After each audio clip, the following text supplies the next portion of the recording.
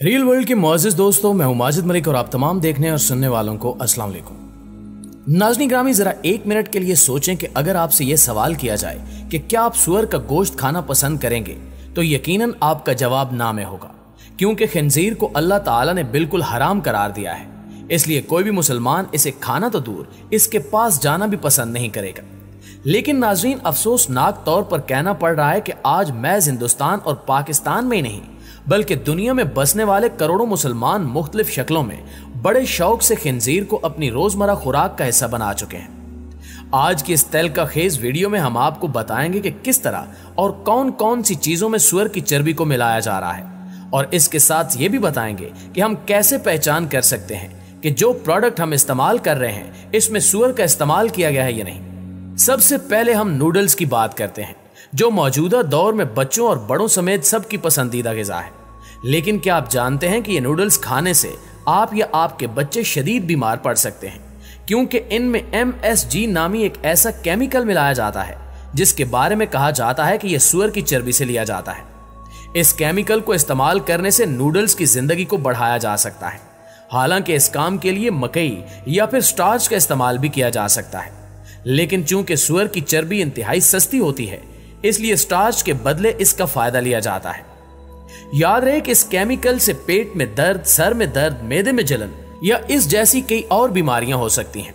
Noodles को बनाने के तरीकेकार की बात करें तो सबसे पहले एक बड़े रोलर में आटे और मैदे को मिलाया जाता है, जिसके बाद इसमें मुख्तलिफ़ किस्म के मिसाले और केमिकल मिलाए जाते हैं, जिनमें एम एस जी केमिकल भी शामिल होता है।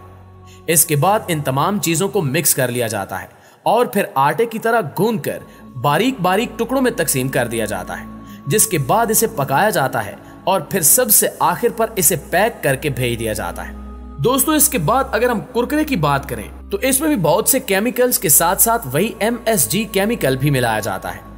इसके बनाने की बात करें तो सबसे पहले मकई का आटा और दूसरे कई तरह के स्पेशल प्रोडक्ट्स मिलाए जाते हैं, जिसके बाद इन चीज़ों को अच्छी तरह मिक्स करके पकाया जाता है। फिर इसे कुरकुरे की शक्ल में काट कर सबसे आखिर पर मिसाला मिला दिया जाता है और फिर इसे पैक करके मार्केट में भेज दिया जाता है। सिर्फ़ यही नहीं, बल्कि हम सबकी पसंदीदा चॉकलेट, डेयरी मिल्क भी अब हराम चीज़ों से महफूज नहीं है। ये वो प्रोडक्ट है जो हर शख्स बहुत शौक से खाता है। लेकिन आपको बताते चलें कि इस चॉकलेट में भी सुअर की चर्बी मिलाई जा रही है। बल्कि कहा जाता है कि अगर इसके मेकिंग प्रोसेस से सुअर की चर्बी निकाल दी जाए तो इसे बनाया ही नहीं जा सकता। प्यारे साथियों, ये तमाम बातें हम अपनी तरफ़ से नहीं कह रहे, बल्कि कुछ अरसा कबल मलाइशियन हुकूमती नुमाइंदों ने यह इंकशाफ किया था कि मुसलमानों में हलाल खाने की अहमियत से आगाह होने के बावजूद, बरतानवी कंपनी कैडबरी ने मुबैना तौर पर अपनी दो किस्म की चॉकलेट में सुअर के अज्जा की आमेजिश करके मुसलमानों के जज्बात को मुश्तल कर दिया है। यहाँ तक कि मलाइशिया ने इस इंकशाफ के बाद बरतानवी कंपनी के खिलाफ कानूनी कार्रवाई का फैसला कर लिया है। इस हवाले से एनजीओ के सदर अजवानदन हमजा ने कहा कि कैडबरी की दो मसनुआत में सुअर का डीएनए मिला है, जो मुसलमानों के लिए हितक आमेज बात है। उन्होंने कहा कि कंपनी को मुसलमानों की रिवायात और जज्बात का ख्याल रखना चाहिए और इस किस्म की प्रोडक्ट्स बनानी ही नहीं चाहिए। मलाइशिया की वजारत सेहत ने जब कैडबरी कंपनी के चॉकलेट, डेरी मिल्क हेंजलनट और डेरी मिल्क रोस्ट एलिमेंट का टेस्ट किया तो इनमें सुअर के डीएनए का इंकशाफ हुआ। लिहाजा इस इंकशाफ के फौरी बाद मलाइशिया के इस्लामी डेवलपमेंट डिपार्टमेंट ने मजकूरा प्रोडक्ट का हलाल गजा का सर्टिफिकेट मनसूख कर दिया।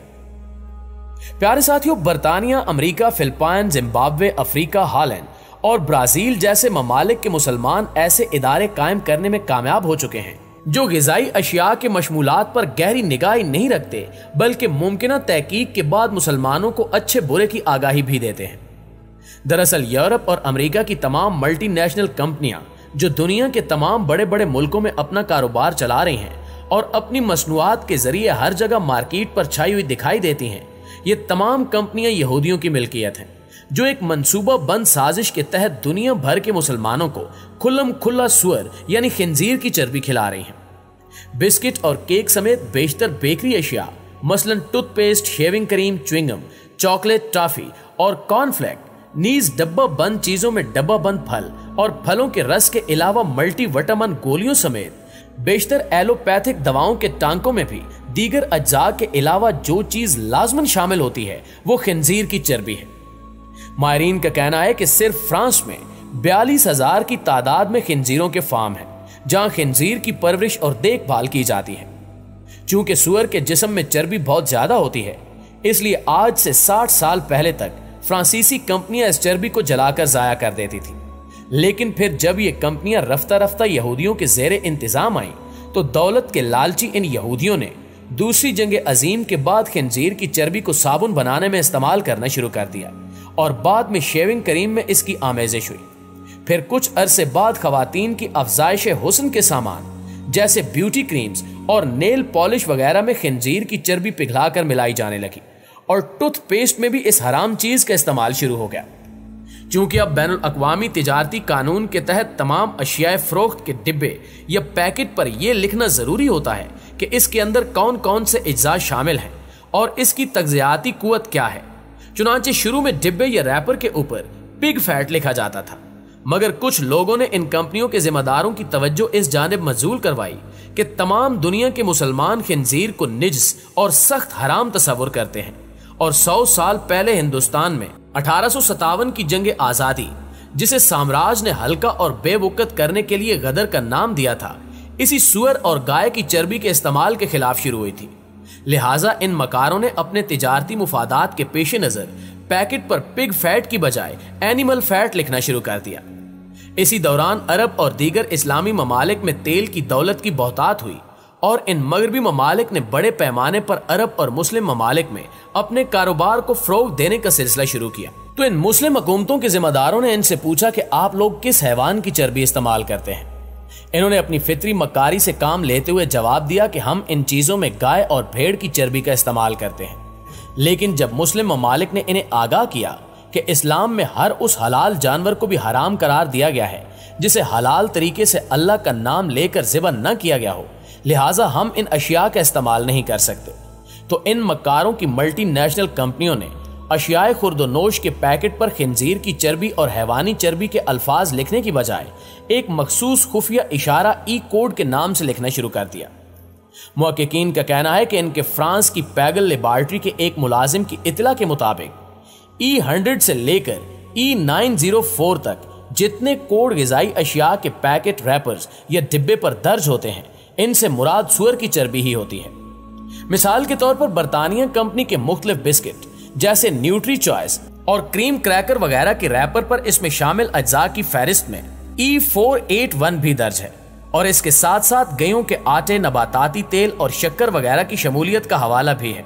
हती के बाज़ार से मोहर बंद अशियाए खुर्दनी, जैसे बिस्किट वगैरह खरीदते वक्त ई नंबरों के इंदराज को ज़रूर चेक कर लिया करें, क्योंकि ई हंड्रेड से लेकर ई नौ सौ चार तक तमाम कोडों से मुराद खालिश सुअर की चर्बी ही होती है। अब यह बात साबित होती है कि ये चंद ई कोड मशकूक हैं, यानी इनके हराम या हलाल होने में शुबा है। लिहाजा हदीस नबी है कि जो चीज़ शक्को शुबे वाली हो, उसको उस वक्त तक तर्क कर देना लाजिम है, जब तक कि तहकीक तफ्तीश के ज़रिए उसके हराम या हलाल होने का कतई फैसला ना हो जाए। लिहाजा इस हदीस के मुताबिक मुसलमानों को भी इन चीज़ों से हत्तुल इम्कान परहेज करना चाहिए।